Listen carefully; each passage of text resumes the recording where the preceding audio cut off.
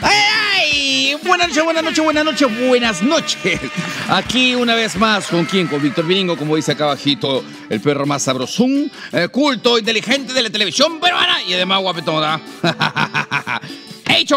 ¡Vamos allá! Bueno, bueno, bueno, bueno, empezamos, empezamos, empezamos con todo, con todo, con todo, como siempre, con toda la mejor actitud. Pero bueno, bueno, bueno, bueno. Bueno, hablamos ahora un poco en serio de la situación. Pues la semana pasada no había lugar donde no se hablara de, la, esas cosillas que pasan en esta sociedad que tenemos, de la infidelidad de famosos. Pues esta semana ahora se trata de otro futbolista famoso, ay, ay, ay, quien al parecer se victimiza luego de haber firmado un contrato que no quiere cumplir. Ah, ah. Pero la pregunta es, ¿cuánto? ¿Cuánto los programas de espectáculos pueden explotar la desgracia ajena? ¿Acaso no somos los mismos que reclamamos por una televisión con valores? ¡Ah! ¡Dilo! ¿Qué es lo importante de lo banal? Por eso hemos traído a sus pantallas un intelectual. Un hombre que hace docencia en comunicaciones. Me refiero nada más y nada menos que a Pedro Córdoba, quien forma futuros comunicadores del país. Hola, buenas tardes, Pedro Córdoba, adelante. Hola, muy buenas tardes, muy contento de estar con ustedes en este programa sin repartija y presto a poder responder todas las consultas que ustedes planteen. Ajá, muchas gracias a ti por aceptar la invitación, querido Pedro. Pero bueno, vamos al grano del asunto, vamos al chupo, al chupo del asunto. Eh, bueno, en mi preámbulo hablaba sobre la responsabilidad de los comunicadores de filtrar el contenido valioso de lo banal. Dime tú, ¿cuánta responsabilidad le toca al, al, al comunicador de un medio de comunicación? Yo creo que es fundamental y una de las características que debe tener un comunicador justamente es esa, eh, ese trabajo ético, esa, ese respeto escrupuloso por los datos, por la información. Y creo que a la larga es lo que le va a permitir sobrevivir o subsistir en esta nueva realidad donde todos tenemos un dispositivo a la mano y donde hace algunos años se hablaba del periodismo ciudadano. Entonces, lo que va a distinguir es justamente el manejo que se le da, ese manejo profesional.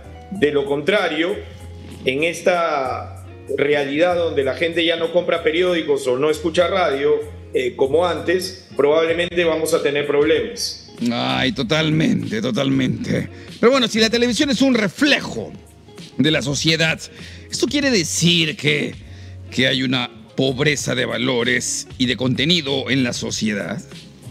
Dímelo.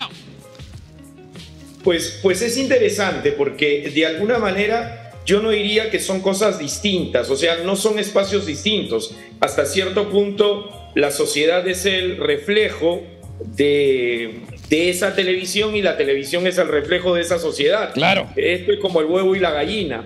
No me atrevería a culpar. Creo que de alguna manera las noticias o las informaciones no son productos inocuos, sino responden a una dinámica cultural. Finalmente, ese periodista o ese presentador o ese comunicador tiene la misma idiosincrasia que cualquiera de los que está en la sociedad. Entonces, mm.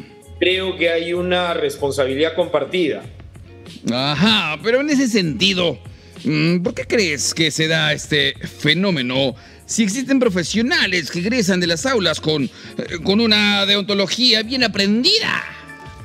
¡Tela! Eh, es, es interesante tu pregunta porque yo creo que algunas veces hay una idealización del periodista y eso es lo que me encargo, por ejemplo, a hacer en mi labor docente. Yo siempre les digo a mis alumnos que el periodista no es un Superman, no es un ser eh, vamos a decir, extraño, eh, diferente. No, como cualquier persona tiene sus pareceres, sus perspectivas, sus filias y sus fobias. Ajá. De tal manera que no tendría por qué eh, exigírsele ser objetivo en todo el sentido de la palabra. Es más, eh, hay muchos autores que cuestionan el tema de la objetividad, que es tan repetitivo en los medios cuando se dice hay que ser objetivo. La pregunta que yo me atrevería a hacer es, eh, ¿es posible ser objetivo? Qué interesante. Pero ¿es posible o no? ¿Tú qué dices? Desde mi punto de vista, es, es muy difícil llegar a ser objetivo plenamente. Yo creo que todo el periodista debe tener el anhelo de, de, tratar de ser objetivo, pero llegar a la objetividad pura, yo podría decir que no hay. Es como, está claro que mentir está mal. La pregunta es, ¿podemos vivir sin mentir? Ojo que no me refiero a las mentiras delictivas, sino a los que algunos le llaman mentiras prosociales. Entonces, está claro que ser objetivo es ideal.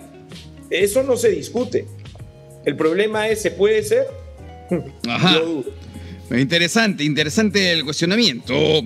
Un análisis muy interesante, pero bueno, vamos con lo importante. Mucha gente de esta parte del mundo vive ajeno a esta guerra comercial entre Estados Unidos y China. Dime tú, ¿qué repercusiones puede tener para nuestras vidas? Bueno, vamos a hablar rápidamente de datos, porque los datos ayudan. China invierte en el Perú aproximadamente 13 mil millones de dólares. El puerto de Chancay representa un promedio de mil y pico, mil trescientos millones de dólares. China es el mayor inversor en América Latina hoy y el Perú es de los países donde más está invirtiendo, para no decir que es el país donde más invierte. Eh, son 1.300 millones de chinos. El chino mandarín es el idioma que más se habla. No es mm. el idioma de la ciencia, pero es el que más se habla. Por lo tanto, eh, yo creo que con esos datos tenemos que mirar a China como un protagonista fundamental de la realidad internacional y al ser un protagonista tenemos que tenerlo en cuenta. La geopolítica busca explicar todas estas movidas. Por una parte, bueno, Estados Unidos desde el 2018 viene imponiendo sanciones comerciales a China. Esta, por su parte, se ha dedicado a invertir en los principales puertos del mundo. Y como tú bien lo dices, Perú no es la excepción. Pero dime una cosa, a calzón quitado, ¿por qué Estados Unidos y China se comportan de ese modo? Dila. Yo creo que es un juego de poder, ¿no? Es decir, hasta el año, hasta el año 91, 89 con la caída del muro de Berlín, 91 con la perestroika, teníamos un mundo bipolar, teníamos la famosa Guerra Fría.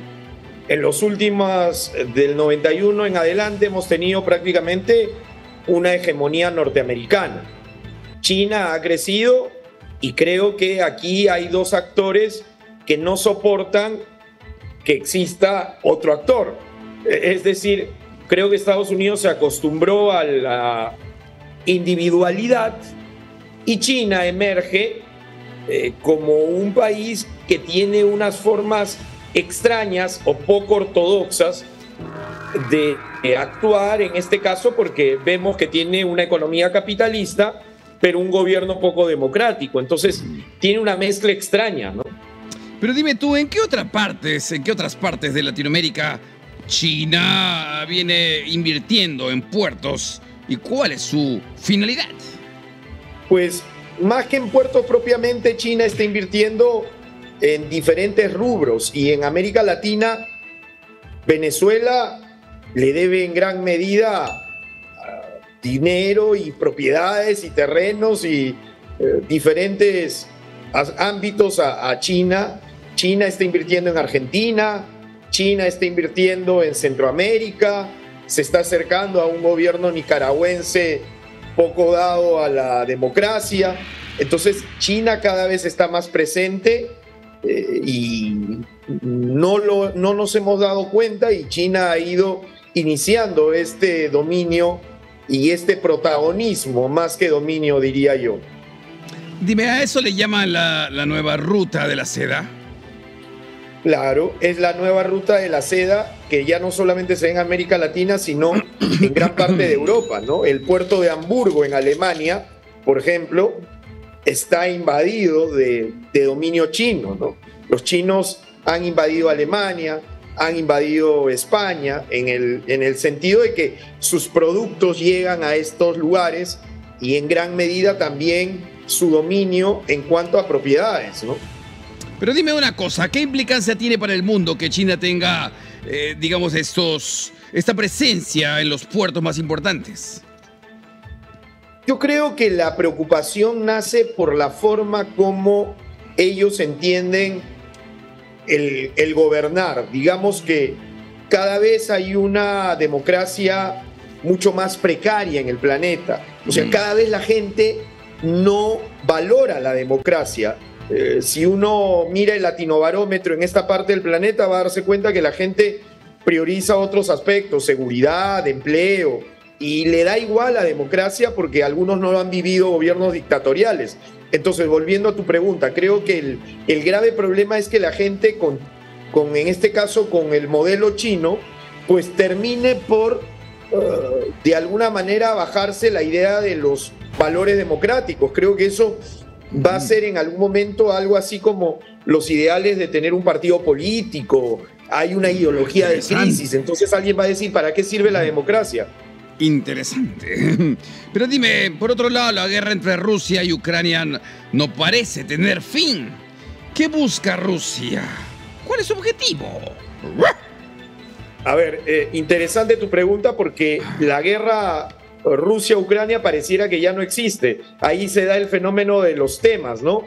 Eh, es decir, el caso de Israel y, Gaza ha desplazado y hoy casi ya no se ven en los medios, pero la guerra sigue y de alguna manera los ucranianos están preocupados porque se están quedando sin armas y Occidente está demorando justamente en brindarles las armas hay un problema ahorita en la frontera con Polonia, eh, se está mm, de alguna manera distanciando Ucrania del apoyo que Occidente le estaba dando y eso está haciendo que en los próximos meses los propios ucranianos eh, crean que va a ser bastante duro. ¿Qué busca Rusia? Yo creo que busca lo que usualmente buscan las grandes potencias, aunque con, diferencia con Estados Unidos. Es decir, Ucrania es un país que fue parte de la Unión Soviética y que en su momento se quedó claro que no pertenecería a la Unión Europea. Ah, en este caso, hoy es brazo aliado de la Unión Europea, de la Organización del Tratado del Atlántico Norte, de la OTAN, si bien no es miembro, pero es, es, apoyado. Entonces, Rusia siente lo que sentiría probablemente Estados Unidos si México en su momento se hubiese sumado al Pacto de Varsovia, que ya no existe, pero como para hacer una analogía, ¿no? Muy interesante. Eh, dime, pero ¿cómo afecta esta guerra? Eh, un poco para explicarles a los jóvenes esta guerra entre Rusia y Ucrania. Bueno, nos afecta en varios ámbitos, ¿no? Ámbitos que están ligados, por ejemplo, esta zona de Ucrania es una zona rica en cereales, entonces varios de los commodities, que son estas materias primas o insumos, comienzan a subir de precio, ¿no? El tema de la energía, eh, que, que de repente aquí no lo hemos sentido tanto por tener otras energías alternativas, pero Europa hoy sufre el tema de la energía, que en gran medida llega desde la dependencia rusa era muy grande. Entonces, ahí hay un problema que eh, tiene que ver con la parte comercial. No te olvides que en gran medida somos países dependientes. Eh, no es que nosotros fabricamos productos. Entonces, se encarece todo y se hace más difícil justamente tener productos a menor precio. Entonces, eh, nos, nos afecta indirectamente, pero nos afecta.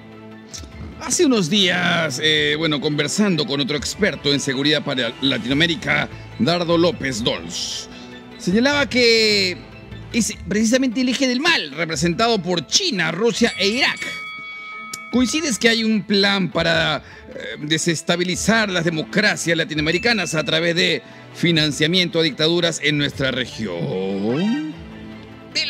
No, no me gusta hacer, eh, hacer teorías conspirativas, pero no es gratuito lo que estamos viviendo. O sea, yo creo que eh, tanto Estados Unidos como China juegan una dinámica eh, geopolítica y tienen una, más que estrategias, diría yo, estratagemas, ¿no? Eh, plantean ardits y, plantean seguramente aspectos ligados a cómo deben moverse. Entonces no me sorprendería que dentro de ello esté la agitación, o sea, el impulso, el estímulo indirecto.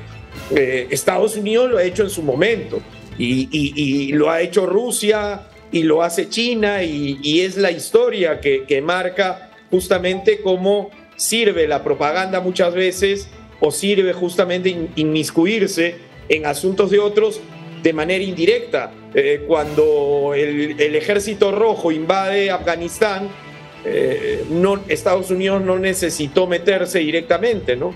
Armó a Osama Bin Laden mm. y se inició la yihad.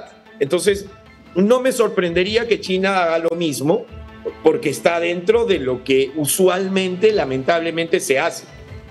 Eh, bueno, pero la guerra entre Israel y los terroristas de Hamas tampoco parece cesar. Hace poco el presidente de los Estados Unidos intentó sin éxito que Israel dejara de atacar al sur de Gaza.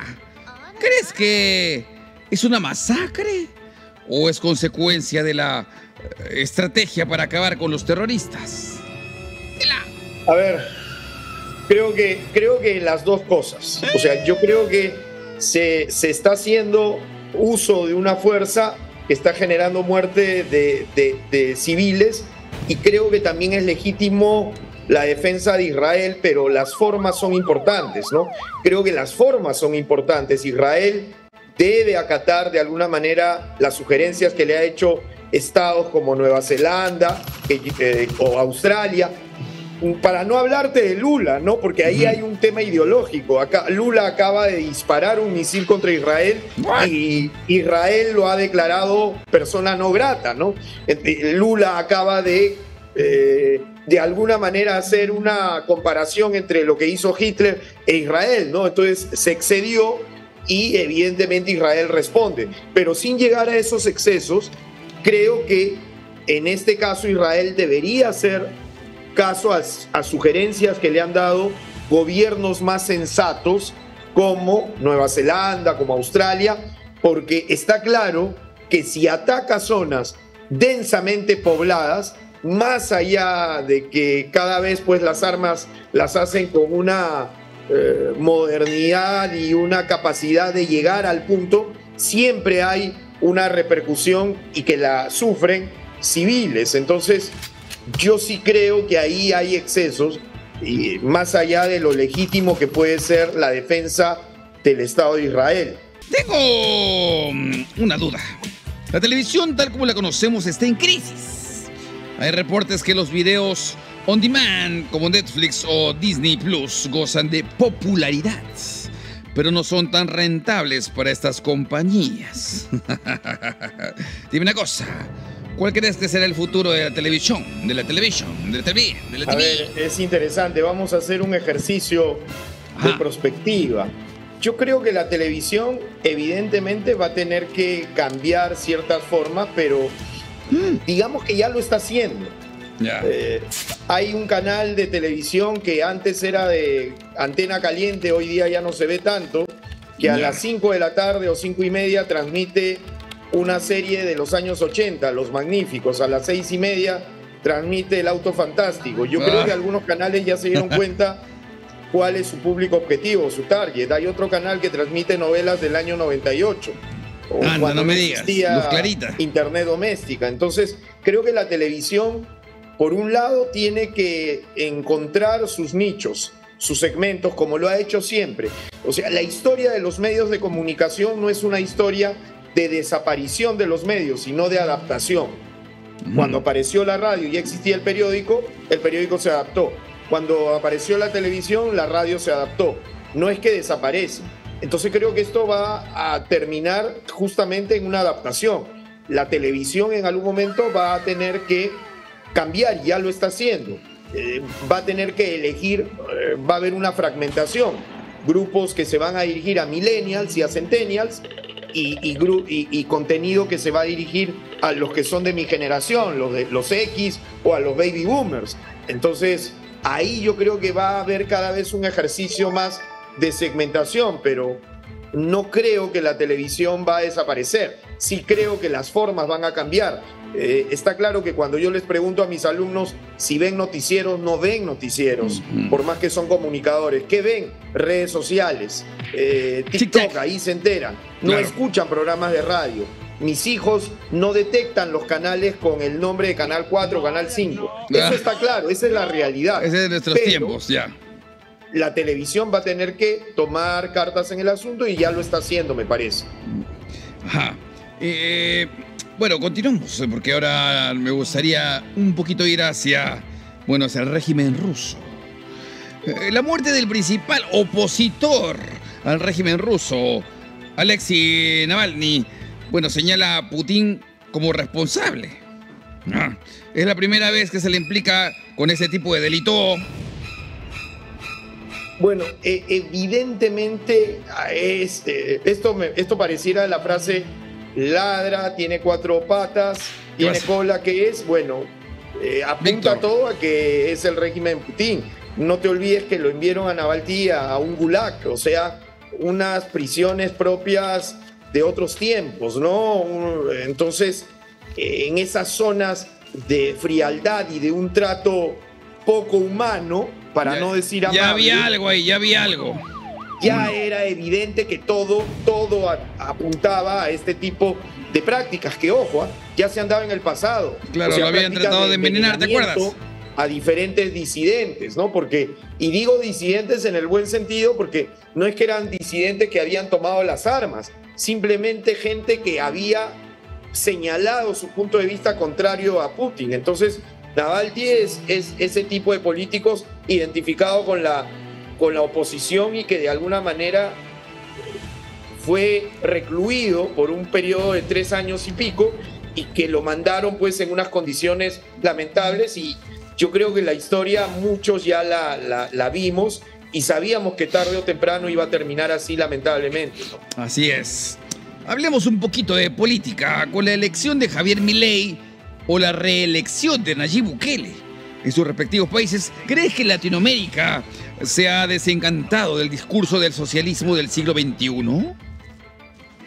¿Qué es una buena pregunta. Creo que de alguna manera los latinoamericanos, que somos en algunos casos pasionales, pasamos de un extremo a otro. ¿no? Creo que como en el mundo estamos en, en los extremos, ¿no? entonces eh, nos estamos acercando a una derecha un poquito más extrema de lo normal, aunque Bukele, no lo hablo por mi ley, Bukele algunas veces pareciera que no le gusta que lo ubiquen en la extrema derecha, pareciera un político que algunas veces busca desmarcarse del político tradicional, pero a mí y a otras personas que les he escuchado decir lo mismo me recuerda mucho a Fujimori, por ejemplo. O sea, cuando yo veo cosas de Bukele, yo digo, esto ya lo vi. Ahora, sí creo que hay un descontento con, eh, como tú dices, el socialismo del siglo XXI. Está claro que hubo un momento en que parte del mapa de Latinoamérica se pintaba de rojo y hoy ya no se está pintando de rojo y seguramente está pintándose de una derecha, pero no de una derecha digamos moderada, sino de una derecha un poquito yendo a los extremos.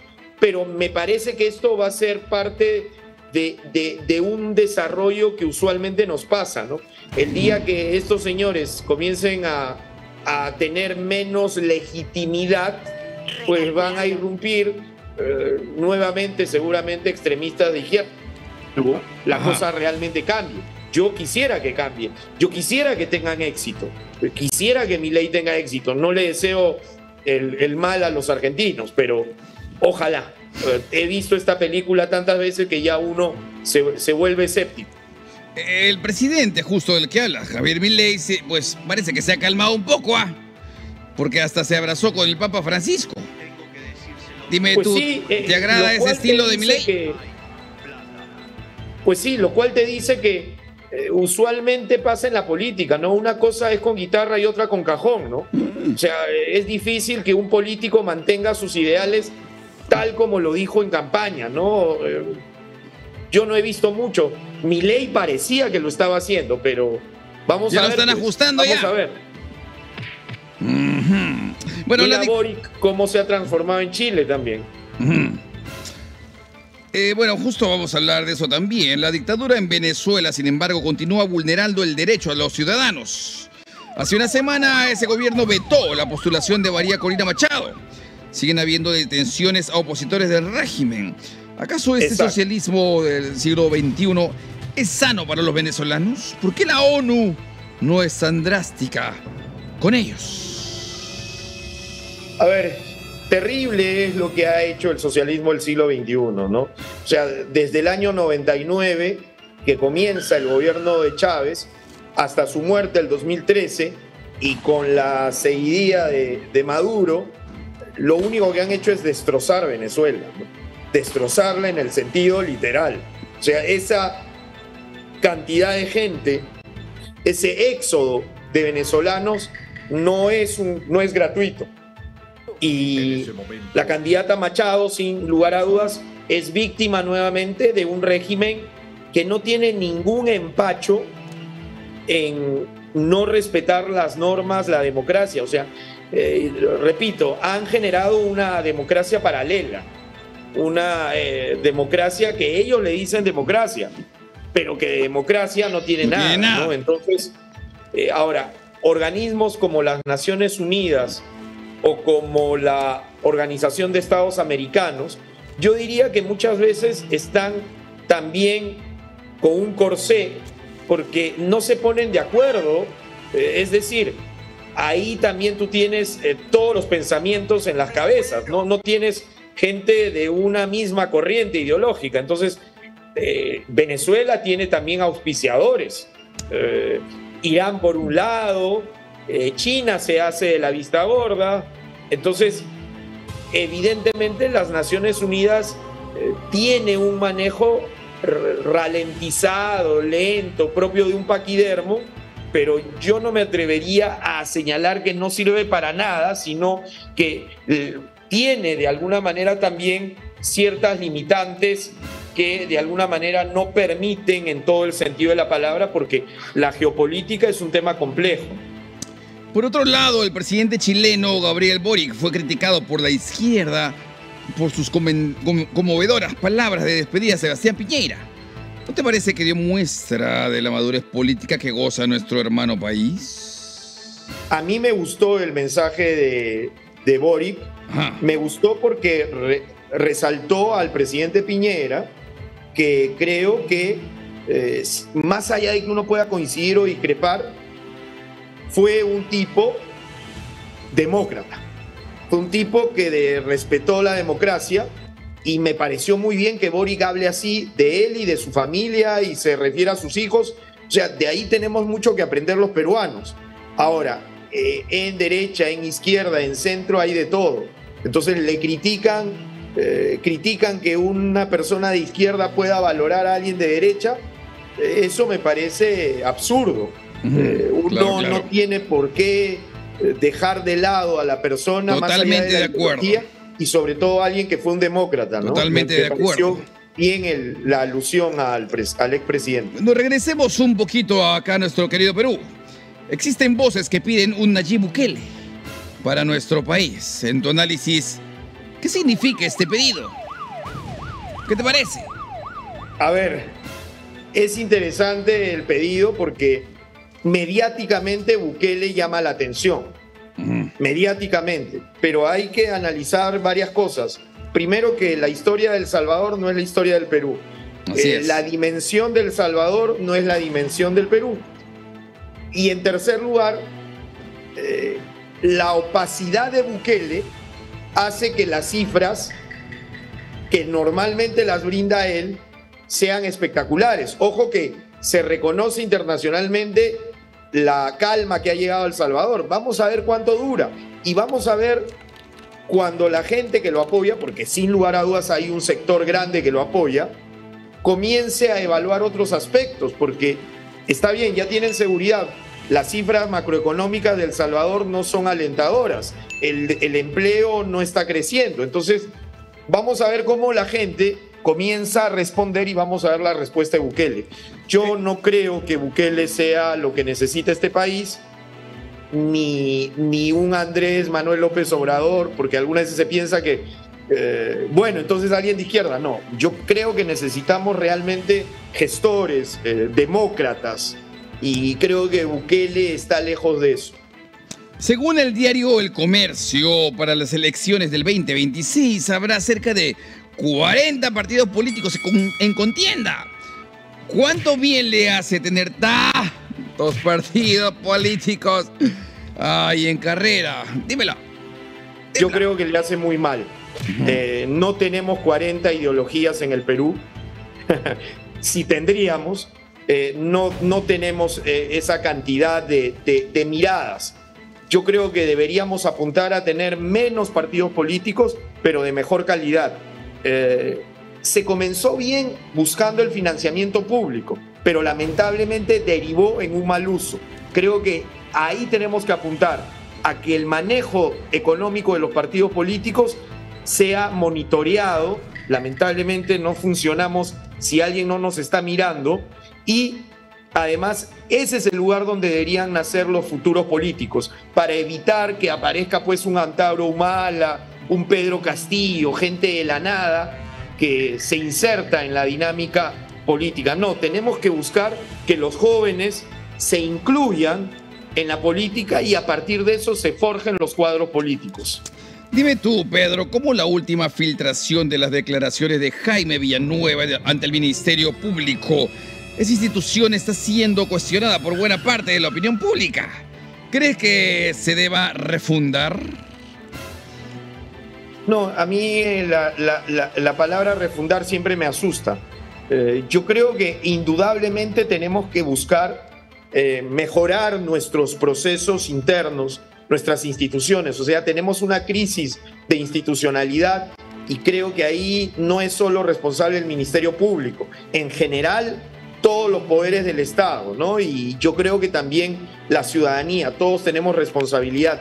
Creo que ese eh, problema que tenemos recurrentemente en la Fiscalía o en el Poder Judicial son problemas que reflejan lo caótico de nuestra democracia. O sea, eh, ¿cómo puede ser posible que el 2021 hayamos tenido 16 candidatos? Ay, ay, ay. Eh, eh, o sea, e, eso ah. ya denota, denota lo crítico que es nuestro sistema. totalmente. Pero bueno, a título personal, ¿qué opinas que el Congreso votó por una nueva oportunidad para reincorporar a universidades no licenciadas? No, yo estoy en contra de ello. Yo creo que la, necesitamos universidades mucho más fuertes, de calidad, y creo que si bien la reforma universitaria tenía muchas cosas por mejorar, porque no era la perfección, yo creo que se estaba caminando a una mejora. Creo que y se hizo mal en insertarse en esta dinámica y, y espero yo que en algún momento se recule y se vuelva atrás. ¡Ay, Mayoral! ¡Ay, Mayoral! ¡Saca tu machete, virigo! ¡Ya lo va a sacar! Estamos aquí en el segmento El Pimponazo. Bueno, en el segmento El Pimponazo, bueno, tenemos, eh, les recordamos que tenemos la presencia el día de hoy de Pedro Córdoba, quien está con nosotros muy amablemente aquí en Sin Repartija. Y bueno, ahora le vamos a invitar a, a ser parte de este segmento llamado El Pimponazo. En el pimponazo te voy a explicar, Pedro, de qué trata. En el pimponazo yo digo una palabra, tú tienes que responder con lo primero que se te venga a la mente. ¿Estás de acuerdo? Listo, Víctor. Vamos a empezar de una vez. Estamos. ¡Vamos allá! Y dice así. Estado de Derecho. Lo máximo. Eh, nuevo puerto de Chancay. Inversión. Em, Kenji Fujimori. Rechazo los cargos. Reservo opinión. um, Keiko Fujimori. Ojalá no postule. liberación de Alberto Fujimori. Controversial. Ah. Eh, Vladimir Cerrón. Personaje oscuro. Algo así como Darth Vader. Ok, ok. Eh, Junta Nacional de Justicia. Parte del sistema. Eh, ceviche. Lo más rico. Lo más saltado. Lo. eh, vamos a decir rico. y un pisco sour. Brillante. Ah. Elecciones 2026. Dios mío. Oh my God. El Congreso. Un mal necesario. Ah. Em, Alan García. Mm, ya no está. Los niños de Pedro Castillo. Víctimas.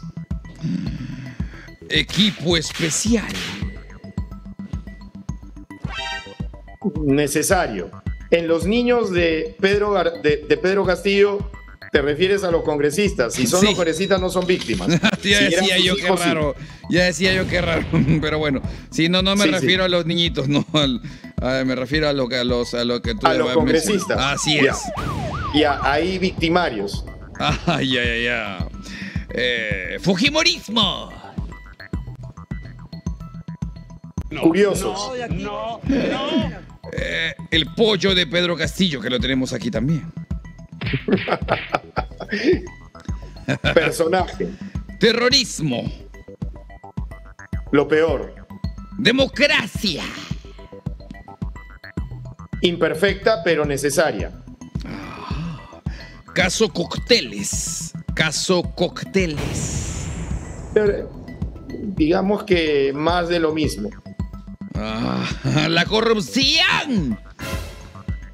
El grave problema, el gran problema del país se gesta ahí. Ay, ay, ay. Feminicidio.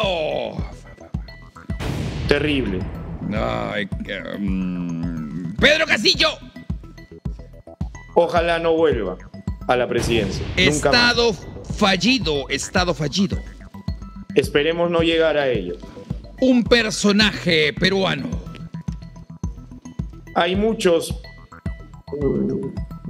Sería injusto decir, no, no tengo uno, una preferencia, pero digamos que hay gente que le ha hecho mucho bien al país. No, no suelo Ya. tener a alguien en particular. está ¿eh? bien, está bien. Un equipo de fútbol. Soy aliancista hasta los Ah, huesos. Nero, Nero, Nero, Nero, Nero. Negro que nació del pueblo. Con razón me caes bien, Pedro. Con razón me caes bien. Eh, ñam, ñam. Abimael Guzmán. Lo peor, Ajá. Dina Boluarte. presidenta por accidente, pero presidenta al fin. Ah. Eh, ideología de género. Controversial, discutible, no, no diría más. Eh, Petro Perú. Que se venda. Ah.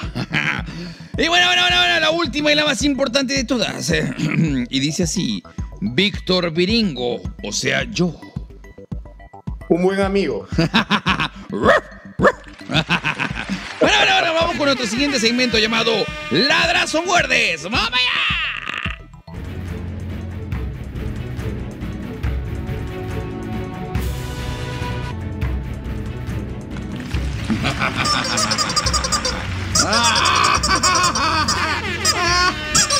Ya, pollo, ya, ya, ya, pollo, ya, está. Bueno, estamos con nuestro segmento llamado Las Muerdes. Pedro, te voy a explicar de qué trata. Yo digo una pregunta y tú tienes que responder con lo primero, bueno, con lo que tú consideras es la verdad. ¿Ok? Ok. Eh, y bueno, bueno, bueno, pero antes tienes que hacer el juramento de la verdad. Por favor, levanta tu mano. Y repite, juro decir la verdad. Juro decir la verdad. Y por siempre la verdad. Por siempre la verdad. Por la patria. Por la patria. Y por la plata. Y No, no, también por la plata. Ya, mentira, mentira, es una bromita, es una bromita. Ya, entonces empezamos. Te voy a contar de qué trata. Yo a una pregunta, tú respondes con lo que tú consideras es la verdad. Tenemos acá al Pollo, que es el jurado verdugo. Por favor, Pollo, preséntate. Pedro Córdoba, Pollo. Nada más. Mucho gusto, Pollo. ¿Qué pasa? Que lo han desplumado, está un poco confundido. bueno, a ver, el pollo. El pollo, si, si, para el pollo lo que tú dices es verdad, hará el siguiente sonido. O sea, una vez. Si para el pollo lo que tú respondes es mentira, hará el siguiente sonido. O sea, dos veces. inmediatamente te caerá una descarga eléctrica hasta tu, tu, lugar donde estás haciendo el zoom y te quedarás ancuchado ahí. ¿Está bien? Ok. Ok, vamos para allá. Empezamos. Number one. Es mejor para el país salirnos del sistema interamericano de derechos humanos. ¿Verdadero o falso? Falso. Falso.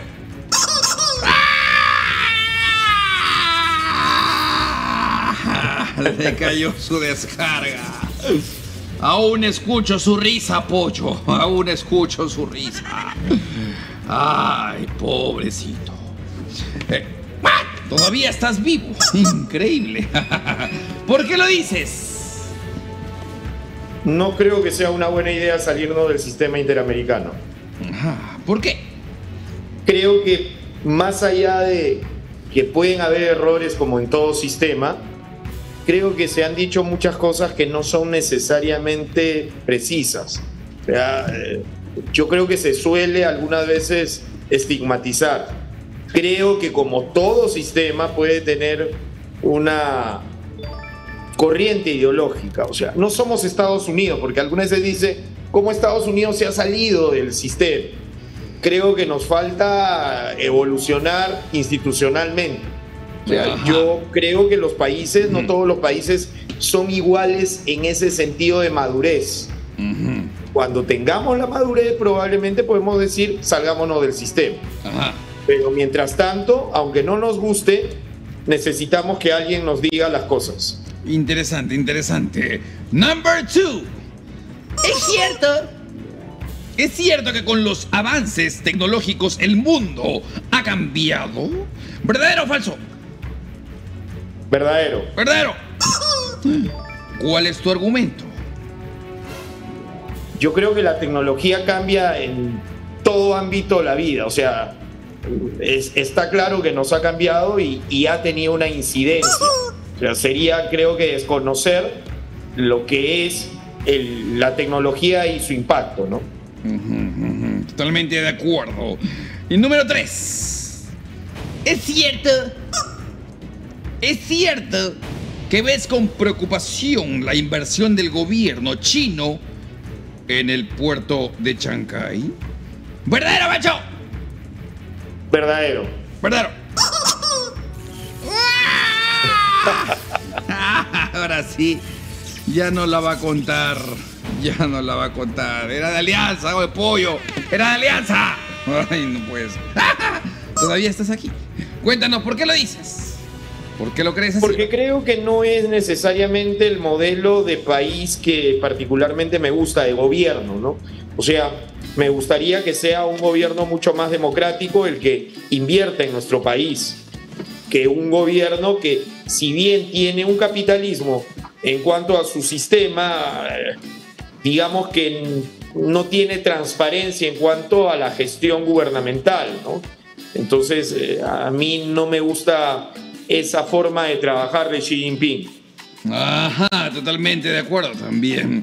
Eh, bueno, queremos agradecer, muchas gracias Pedro Córdoba por haber eh, aceptado la invitación para poder ser parte sin repartija en esta edición. No sé si te gustaría eh, dar un mensaje a la juventud que nos está viendo en relación a cómo está yendo convulsionado el país, algún, algún consejo o algo. A por favor, adelante, la cámara es tuya. Gracias, Víctor. En primer lugar, me he sentido muy bien eh, creo que este tipo de espacios lúdicos son necesarios. O sea, me ha gustado la estructura de este programa porque hemos hablado de cosas importantes, pero de una manera lúdica, no formal, sino justamente de una manera sencilla. Entonces esto demuestra que los contenidos también pueden llegar a la gente, no necesariamente con ese formalismo que tienen los programas noticiosos. Entonces me gustó mucho esta dinámica porque se han hablado de cosas interesantes para la gente desde una perspectiva también interesante, llamativa, fuera de lo común, así es que te felicito. bueno, muchas gracias. Muchas gracias. Espero que sea, no sea la última vez. Así que cualquier cosa estamos coordinando. Muchas gracias. Muchas gracias una vez más. Gracias. Un aplauso para Pedro Córdoba. Nosotros nos vemos en la próxima edición de Cien Repartija, como siempre, con Víctor Viringo. No se olviden de seguirnos en las redes sociales de Instagram, TikTok, de X y de Facebook. Nos vemos la próxima. Cuídense mucho. ¡Chao!